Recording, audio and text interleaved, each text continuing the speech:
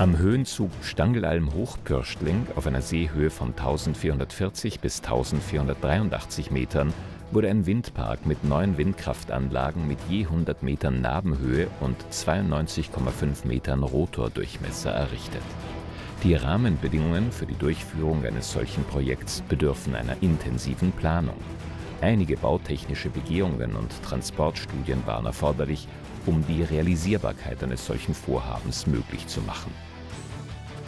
Bereits im Rahmen der Planungsphase konnte Prangl überzeugen und das Vertrauen sowohl des Betreibers als auch des Windkraftanlagenherstellers gewinnen.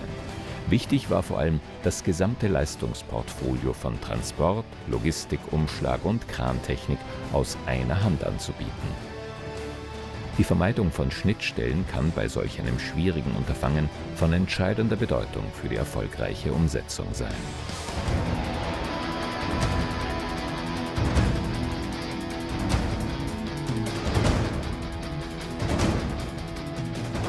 Mittels Schwertransportern wurden die Maschinenhäuser (69 Tonnen Einzelgewicht), die Naben (18,9 Tonnen Einzelgewicht) und die Rotorblätter (9,7 Tonnen Einzelgewicht) von Deutschland nach Österreich transportiert.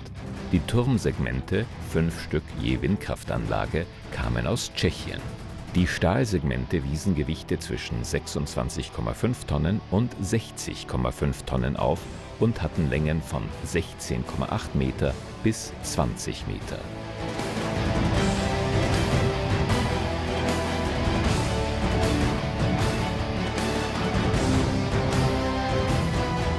Alle Komponenten wurden am Umschlagplatz in Stans, entsprechend einem eigens durch Prangl entwickelten Logistikplan, zwischengelagert für den Umschlag kamen ein 220 Tonnen Teleskopkran und ein 100 Tonnen Teleskop-Raupenkran zum Einsatz.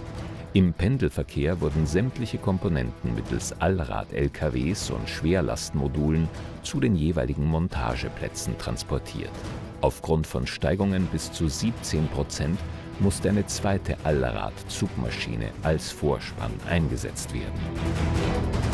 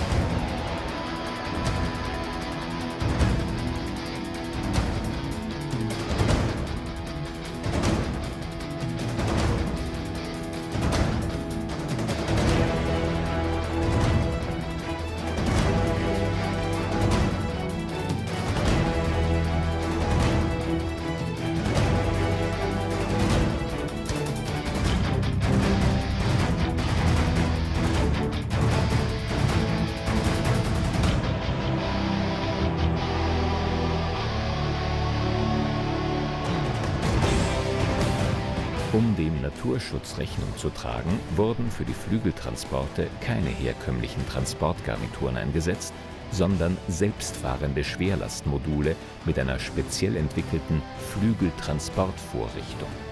Die 45,6 Meter langen Rotorblätter konnten so von der 0-Grad-Transportposition vor engen Kehren und Kurven auf bis zu 60 Grad hochgestellt werden Dadurch konnten die Adaptierungsmaßnahmen für die Bergstraße und Wege auf ein Minimum reduziert werden. Nicht nur war damit dem Naturschutz und Landschaftsbild geholfen, sondern konnten dem Betreiber so auch Kosten gespart werden. Die Fahrzeit der 16 Kilometer langen Strecke dauerte bis zu vier Stunden und erforderte höchste Konzentration.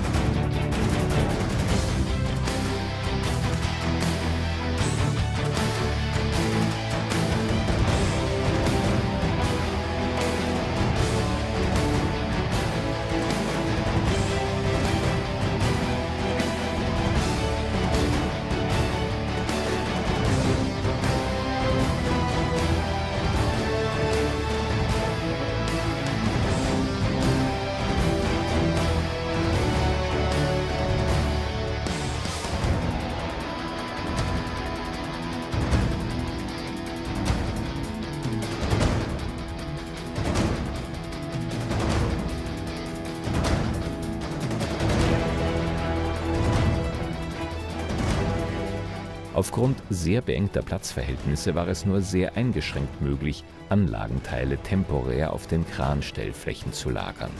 Die Komponenten mussten daher weitestgehend just in time angeliefert werden. Dies wiederum erforderte eine optimale logistische Abstimmung zwischen allen Mitgliedern des Prangel-Teams.